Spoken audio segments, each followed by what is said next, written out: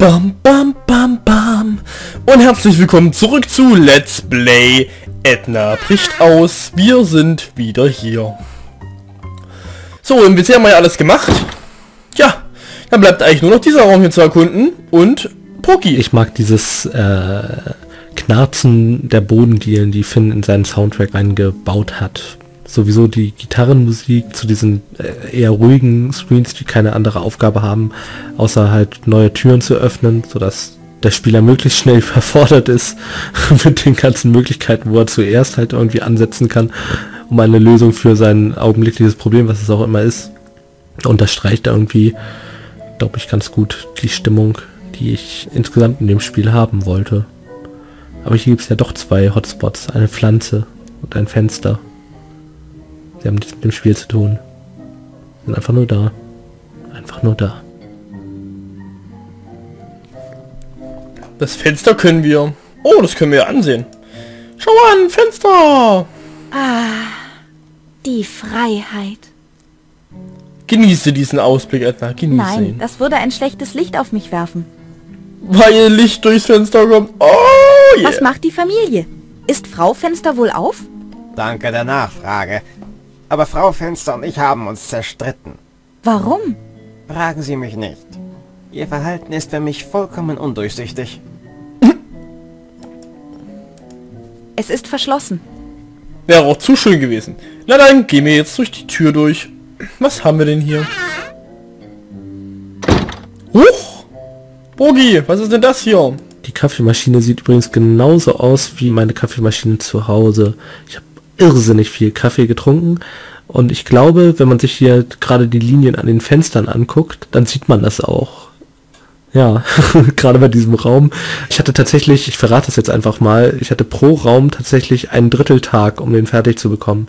Ich habe so ziemlich alle Screens von Edna bricht aus innerhalb von weniger als anderthalb Monaten gezeichnet. Ich hatte einfach nicht mehr Zeit. ja, der Zeitdruck und der Kaffee äußert sich ziemlich genau in der Linienführung. Hier rechts im Bild zu sehen. Kaffeemaschine zentral im Bild, Linienführung rechts im Bild. Guckt es euch an.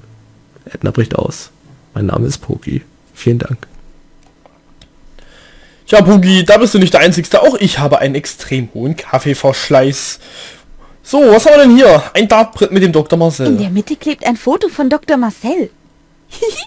Gleich ausprobieren, los, Dartpfeil her. Ja. Das ist an der Wand befestigt. Macht nichts. Ohne Darts ist es ohnehin nutzlos. Ich dachte, ich nimmst das Foto mit, das können wir vielleicht gebrauchen. Bullseye. Selber! Und? Die Darts fehlen. Oh, okay. Was haben wir denn hier? Ein Kaugummiautomaten. Kaugummi.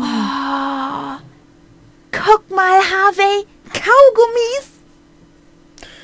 Ja, so ein typischer mal Straßenautomat. Was macht der eigentlich hier drinne?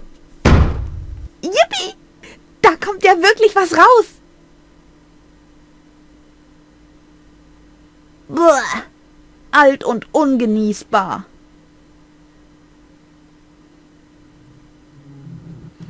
Okay. Sie spuckt das gegen das Fenster. äh, reden mit Kaugummiautomat. Hast du ein Kaugummi für mich? Ich wäre ein schlechter Kaugummiautomat, wenn ich keines hätte. Da hat er allerdings recht. Yippie. Da kommt ja... Okay, das kennen wir, kennen wir ja. Kennen wir. Spuckt gegen das Fenster und... Kaffee, Kaffee, göttlicher Trank. Ohne dich wäre ich stets krank. Oh ja, ich habe nämlich heute noch gar keinen. Das ist nämlich, Ich das merkt man auch an mir. kleptomanische Anwandlungen. Aber jemandem die Kaffeemaschine zu stehlen, das wäre Barbarei. Da hat sie recht. Kaffee, schwarz. Computer? Mist, die Replikatoren sind wieder im Eimer. Benutzen. Keine Filter. Und was noch wichtiger ist, kein Kaffee. Kein Kaffee. Nein. Und schon wieder diese ekelhafte Seife. Gucci Waldmeister zwei Phasen Powergel. Alles klar. Nehmen. Glitschig. Und Power. Es gibt direktere Wege, um mir zu sagen, dass ich nur Dreck laber. hm, glitschig. Hm, glitschig. Was haben wir denn hier? Schranktür. Marmelade. Huch. Igitt luftgetrockneter Rhabarberkompott. Okay. Irgendwie macht sie das aber nicht. Ansehen. Ansehen. Macht sie nicht. Okay. Schokobröckchen. Hergestellt aus Industrieschaum und Zucker. Hier steht, es gibt eine Überraschung im Inneren der Packung. Yippie! Überraschung! Das geht auch nicht. Vitamino. Mit dem besten aus drei ausgewählten Kaninchenstellen. Kaninchen stellen. Nein, danke. Das ist mir zu gesund. Ja, sehe ich aber auch so. Lieber so einen schönen Schokoriegel. Hallo Müsli. Hallo! Ein ganzes Alphabet von Vitaminen und doch so wenig zu sagen. Nein, danke. Das ist mir zu gesund. Na dann, Schrank zu, Klappe tot, Affe tot. Müsli! Schokobröckchen. Hergestellt aus Industrieschaum. Ja, Hier steht, es gibt eine Überraschung im Inneren der Packung. Na dann, äh...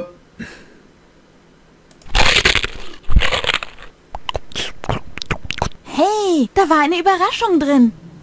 Es ist ein waschechter Polizeiausweis mit verschluckbaren Kleinteilen. Cool. Ich wette, nur die besonders taffen Cops bekommen verschluckbare Kleinteile. Ja, nicht schlecht. Polizeimarke. Lecker. Und dazu noch dieses famose Zischen, wenn der Zucker den Zahnschmelz anlöst. Äh, eigentlich wollte ich ja... Ich tu den Fußnagel mal hier in die Packung. Da verliere ich ihn nicht. ist das eklig. Okay, äh... Mein Poloschläger isst keine Cornflakes. Eigentlich ist er kaum etwas. Vielleicht ist er krank. Ja, da ist tatsächlich ein Rätselspiel auf der Rückseite. Aber meinetwegen kann Bobo Bär ruhig im Labyrinth versauern. Und... Captain Unbrauchbar isst Cornflakes nur mit warmer Milch und Zucker. Mit Zucker habe ich meine Cornflakes noch nie gegessen früher. Captain Unbrauchbar hat keine Polizeimarke. Er Ja. arbeitet auf 400 Euro Basis für Greenpeace. Ach du Scheiße. Jetzt ist vorbei. Nee. Geht die Sonne auf oder unter? Ich habe in der Zelle mein Zeitgefühl verloren. Äh, sie geht seitwärts. Die Welt hat sich gedreht. Dort, wo wir hingehen, brauchen wir keine Fenster. Nur Türen. Spracherkennung gibt es erst in der nächsten Windows-Version. Hm, also Windows 9 dann. Ah, okay, verstehe. Nehmen. Yippie! Duck! Ja, kennen wir ja alles, kennen wir alles. Alt und ungenießbar. Und flupp. Tja, jetzt haben wir irgendjemanden ins Fenster gespuckt und dann Kaffeemaschine, Wasserhahn, Wasserhahn, Wasserhahn. Den haben wir noch nicht benutzt. Ist dir schon mal aufgefallen, dass Wasserhähne etwas Phallisches haben? Edna! Jetzt, wo mir das aufgefallen ist, werde ich wohl verdursten müssen. Kein Kommentar. Der ist fest. Reden. Hey, ihr Kreaturen des nassen Elements! Jemand zu Hause? Neptun? Klabautermann? Captain Igloo? Benutzen. Ja, Quatsch. Benutzen Wasserhahn. Okay, aber sonst war es ja das anscheinend. Ja, wir können eventuell noch mal hier äh, ein bisschen was kombinieren. So, da. Hm. Ich glaube, ich habe die Triple 20, die Triple 12, Bullseye. Wow, ich habe über 1000 Punkte. Äh, alles klar. okay.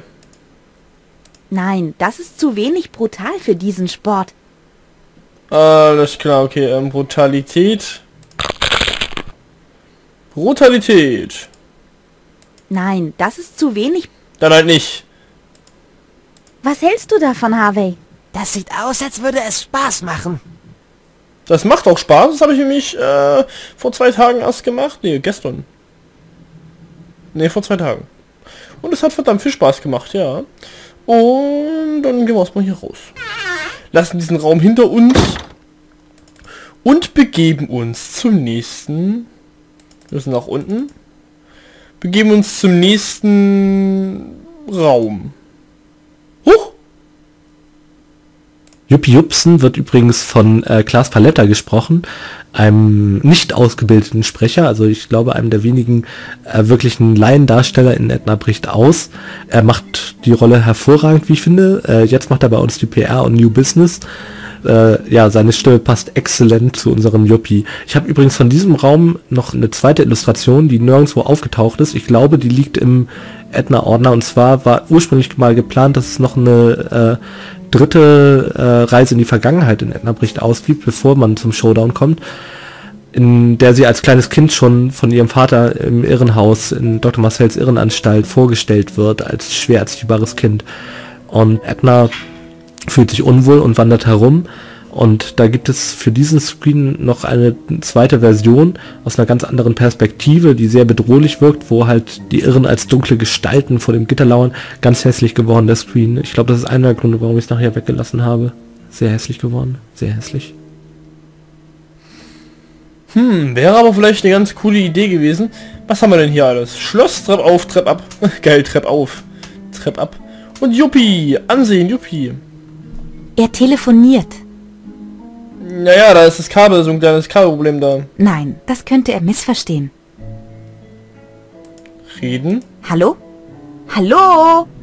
Hm, er reagiert nicht. Und benutzen. Nein, das könnte er missverstehen. Benutze etwa mit Yuppie. Hm, hm, hm, könnte er missverstehen. Wo stehe ich? Ich hasse diese Dinger. Okay, das sind dieselben Dialoge wie beim letzten Schloss auch. Gehen wir mal runter. Was gibt es denn jetzt hier noch so zu tun? Huch, ein heller, freundlicher Raum. Es gibt eine Reaktion in Edna bricht aus, die kann man einfach nicht verstehen, obwohl sie eigentlich auf das Spiel selbst referenziert. Und zwar, wenn man sich das Bild anguckt, sagt Edna, ich sehe ein kleines Kind im Bauch eines Walfisches oder irgendwie sowas in der Richtung. Das erkennt sich in dieser modernen Kunst. Und die Lösung zu diesem Satz, also äh, die Auflösung, warum sie das da drin erkennt, sieht man in der Vergangenheit. Und zwar ist dies ebenfalls eine Szene, die in der verloren gegangenen dritten oder vierten Tempomorph-Szene äh, verschütt gegangen ist. Und zwar wurde sie von ihrem Vater bereits als Kind hier in die Anstalt geschleppt, muss dann halt hier warten und macht sich natürlich wieder selbst auf den Weg, weil sie halt eben auch als Kind schon so aufmüffig war. Aber am Anfang sollte sie dann dort in dieser Sitzgruppe sitzen und mit den Beinen baumeln und hinter ihr, also der ganze Raum war ähnlich wie die anderen Tempomorph-Szenen, im Gegensatz zur Realität halt aus kindlicher Perspektive enorm verzerrt. Und äh, hinter ihr hing halt ein großes Bild von einem Walfisch, der halt mit groß aufgerissenem Mund irgendwie sie zu verschlingen drohte, wie sie halt irgendwie in dieser Sitzgruppe sitzt. Kein Wunder, dass sie da äh, aufstehen wollte. Weil sie sich gerade nicht nur in der Szene wie ein Kind im Bau eines Walfisches oder das äh, bedroht wird, von einem Wal gefressen zu werden fühlte, sondern halt auch eigentlich inhaltlich, weil sie diese Therapie, die ihr Vater für sie vorgesehen hat, ablehnt. Tja. Interessant. Das ist schön, dass er die Hintergrundinformation noch mit reingepackt hat, was das könnte man sich eventuell äh, nichts dazu denken, wie er schon sagte. So, gehen wir mal zu. Nein, Ansehen zu Sitzgruppe. Diese Stühle verursachen Wirbelsäulenschäden. Und weil sie sich so schlecht verkaufen, werden sie in Arztpraxen und öffentlichen Einrichtungen aufgestellt. Und dann haben die Leute gleich wieder Probleme und können wieder zum Arzt gehen. Ach, wie toll. In lila hätte ich sie mitgenommen. Aber so? Nee. Reden. Sitzt es sich da bequem? Keine Antwort ist auch eine Antwort. Benutzen. Das ist weder der Ort noch die Zeit, um eine Pause einzulegen. Naja, der Ort vielleicht schon, aber gut, es kommt drauf an. Ich erkenne darin ein kleines Mädchen im Bauch eines Walfisches. Warum wohl? Das Motiv gefällt mir nicht.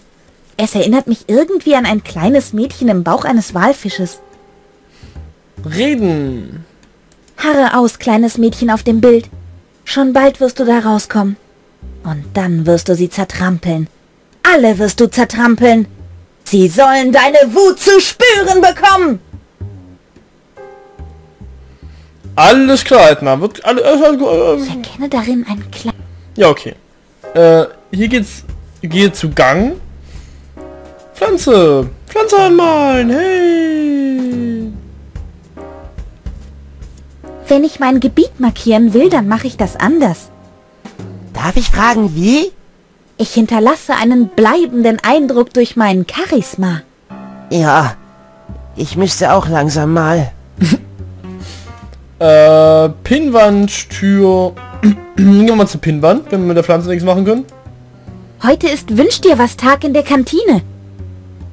Nehmen. Ein wenig sperrig, meinst du nicht auch? Kann man bestimmt zusammenklappen. Verbale Notizen bleiben daran nicht haften.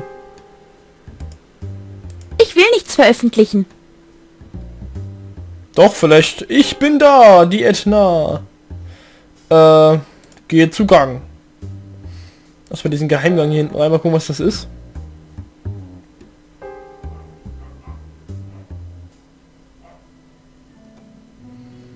Nanu.